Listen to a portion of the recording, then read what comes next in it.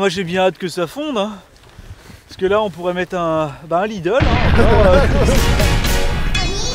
Le changement climatique, c'est chiant. Bien sûr, voir le monde que l'on connaît se faire malmener par des événements climatiques extrêmes, la montée des eaux, leurs conséquences humanitaires désastreuses, c'est que modérément émoustillant. Mais c'est même pas de ça dont je parle en fait. Le sujet lui-même du changement climatique, même s'il est omniprésent dans notre société, eh ben il ne semble plus vraiment titiller les neurones du grand public. Par exemple, si on regarde l'évolution des tendances de recherche sur Google,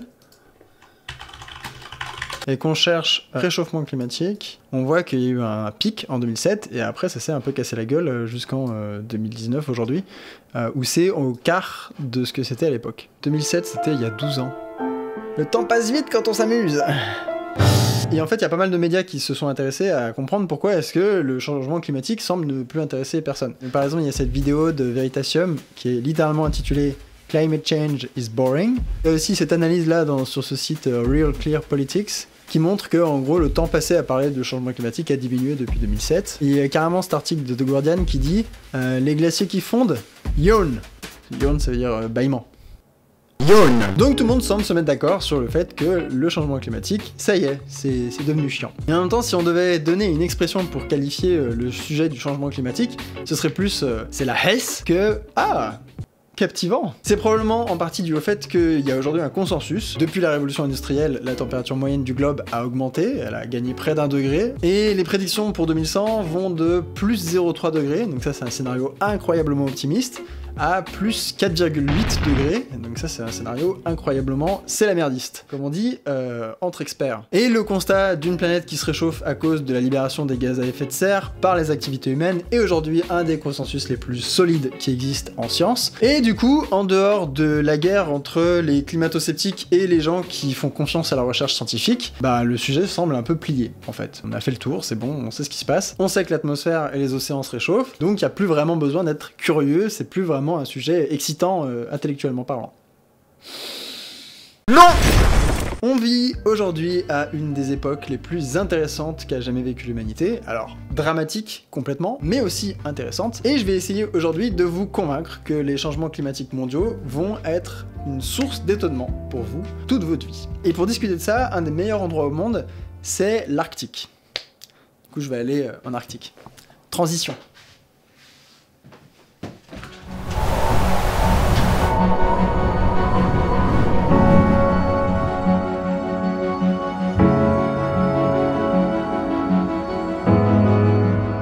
Svalbard est un archipel dans l'océan Arctique qui est situé à près de 80 degrés de latitude, c'est-à-dire qu'on est ici à 1000 km du pôle Nord. L'archipel est habité par quelques 2000 personnes et certaines îles sont complètement inhabitées. Il y a ici plus d'ours blancs que d'habitants. On a vraiment ici l'impression d'être au bord de la carte, littéralement au bout du monde. La vie aussi près du pôle Nord est vraiment particulière. Par exemple, pour pouvoir sortir des villes, il faut être armé pour pouvoir se défendre d'attaques d'ours polaires, si jamais il y a besoin il y a une nuit complète, 24 heures de nuit en hiver et 24 heures de jour en été. Par exemple, là, on est en mai et il est 2 heures du matin. La ville de Longyearbyen est la ville civile la plus nord au monde. Par exemple, il y a l'école la plus nord au monde, l'université la plus nord au monde, la pizzeria la plus nord au monde, le distributeur automatique le plus nord au monde, le cinéma le plus nord au monde, la bibliothèque la plus nordique au monde. Et actuellement, il y a aussi le youtubeur qui parle tout seul avec sa caméra le plus nord au monde. Mais ça, c'est un record dont personne ne veut.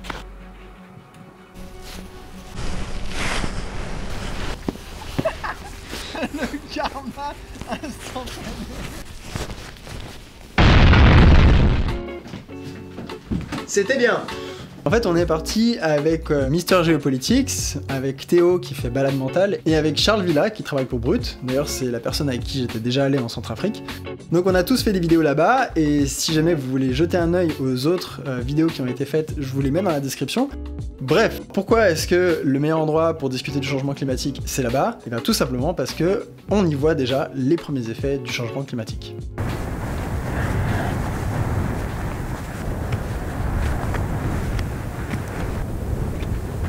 Ce qu'il faut savoir, c'est que la glace de mer, donc la banquise, diminue énormément en surface. Une des mesures les plus parlantes, c'est de regarder la superficie de la glace de mer en septembre. donc le moment où elle est à son minimum. Et en 2016, la superficie de cette glace de mer, en septembre, était la moitié de celle qu'il y avait au début des années 80. De fait, la superficie de la glace de mer diminue de 13% à chaque décennie, et on estime qu'autour de 2050, on pourra tranquillement traverser le pôle Nord sans toucher un seul bout de glace à la fin de l'été. Alors cette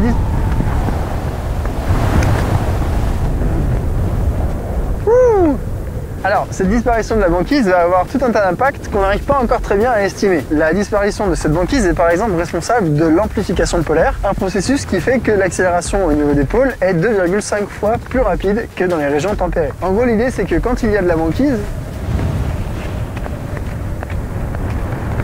va vivre ta vie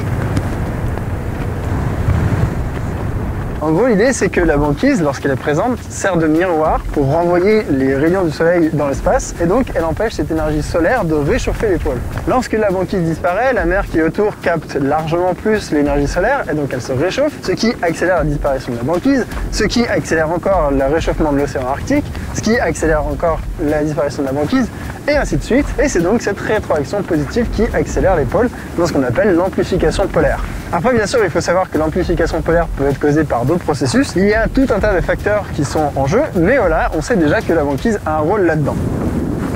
À titre d'exemple, l'archipel du Svalbard est 7 degrés plus chaud en hiver aujourd'hui que dans les années 70. Donc autant dire qu'en termes de changement climatique, eux ils sont déjà dans notre 2100 à nous. Ils vivent déjà les conséquences à une échelle incroyable. Et donc en fait ce qui est intéressant c'est que c'est pas la seule boucle de rétroaction positive qui existe par rapport au changement climatique. Un autre mécanisme de rétroaction positive c'est celui de la vapeur d'eau. Donc en gros plus les océans se réchauffent, plus ils vont s'évaporer, donc créant du gaz qu'on appelle la vapeur d'eau. Et le truc, c'est que cette vapeur d'eau, c'est un gaz avec un très très fort pouvoir d'effet de serre qui va donc réchauffer l'atmosphère très vite. Plus les océans s'évaporent, plus ils émettent de la vapeur d'eau, plus cette vapeur d'eau est présente dans l'atmosphère, plus elle va accélérer l'évaporation des océans, ce qui va donc créer une boucle de rétroaction positive qui va accélérer le réchauffement. Donc en fait, quand on creuse un peu, on se rend compte qu'il y a énormément de boucles de rétroaction dans tous les sens. Là, je viens par exemple de tomber sur un article qui montre que les forêts génèrent des aérosols, donc des particules atmosphériques extrêmement fines, et que ces particules atmosphériques peuvent servir à être à la base de la création de nuages et que ces nuages peuvent avoir un impact sur le changement climatique, par exemple en renvoyant plus d'énergie solaire dans l'espace, donc en augmentant l'albédo. Là, je suis sur un autre article qui montre que les bactéries océaniques génèrent aussi des aérosols qui pourraient déclencher la formation de nuages au-dessus de l'océan. Donc les bactéries qui créent des nuages, c'est quand même pas mal, c'est assez ouf. Et que du coup, comme le réchauffement climatique pourrait accélérer le métabolisme de ces bactéries, du coup il pourrait y avoir plus de création d'aérosols et donc plus de création de nuages, ce qui pourrait diminuer le réchauffement climatique Bref, c'est super compliqué, il y a énormément de boucles de rétroaction dans tous les sens, mais une qui m'intéresse en particulier et qui est assez connue, c'est celle de la libération du méthane. 25% de l'hémisphère nord est composé de sols qui sont gelés, qu'on appelle le permafrost, et ces sols qui sont gelés vont avoir tendance à se dégeler avec euh, le réchauffement climatique. Donc il y a vraiment l'idée que le méthane qui est contenu dans le permafrost, donc dans un sol qui est pas très profond, va euh, ressortir dans l'atmosphère. Et là on voit par exemple euh, sur ce graphique que la concentration en méthane atmosphérique qui a été mesuré à Barrow. Alors Barrow, c'est une petite ville dans l'Alaska, et on voit que euh, depuis 1988, il fait qu'augmenter. En 2013, on a estimé qu'il y avait 17 millions de tonnes de méthane par an qui étaient libérées dans l'atmosphère, et c'est évidemment un chiffre qui va ne faire qu'augmenter. Le problème, c'est que le méthane a un potentiel à effet de serre qui est 34 fois plus puissant que le dioxyde de carbone. Donc chaque libération de molécules de méthane est 34 fois plus problématique que la libération d'une molécule de dioxyde de carbone. Donc ça, on sait que ça existe, on sait que ce méthane est libéré, mais encore pire, il y a une autre hypothèse qui s'appelle l'hypothèse du fusil à clatrate.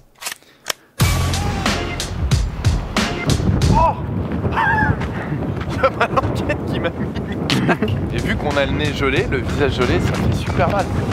Oh non, il est trop mignon.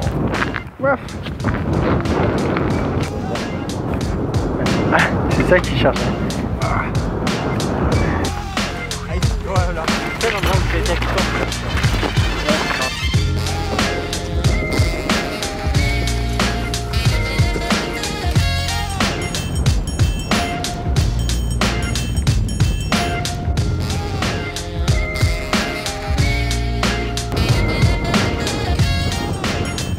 Il va faire sombre à l'intérieur, non Ta gueule.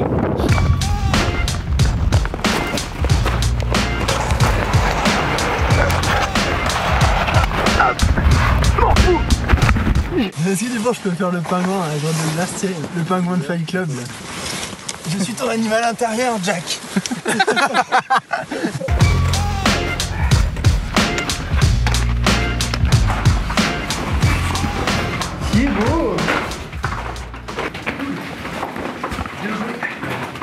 Là, on est dans une grotte de glace, donc une cavité dans un glacier. Et c'est le moment parfait pour vous parler d'une surprise du réchauffement climatique qu'on appelle le fusil de Klatrat. Donc en gros, l'idée c'est qu'il y a du méthane qui est stocké dans les sous-sols euh, arctiques.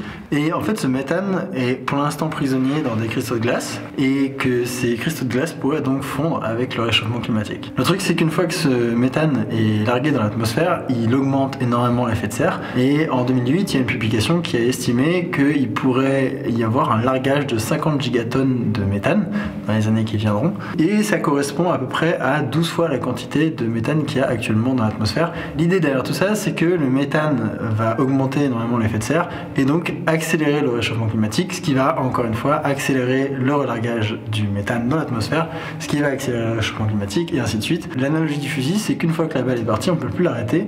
Et la grosse inquiétude vis-à-vis de ces méthanes, c'est qu'une fois qu'ils ont commencé à se larguer, eh ben, on peut plus arrêter leur émission. une grosse inconnue pour l'instant réside dans les quantités. On ne sait pas exactement où sont les méthanes et combien est-ce qu'il y en a. Et euh, est-ce qu'ils seront vraiment libérés le moment où les températures vont augmenter?